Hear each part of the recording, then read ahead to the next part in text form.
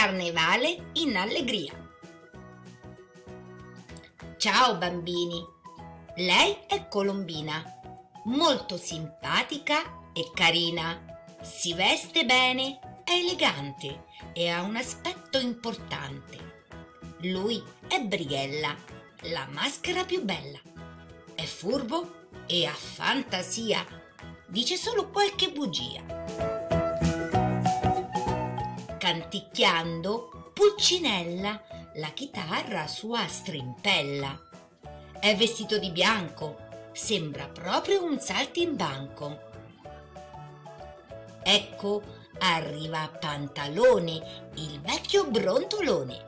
Ha un vestito rosso e nero e l'aspetto un po' severo.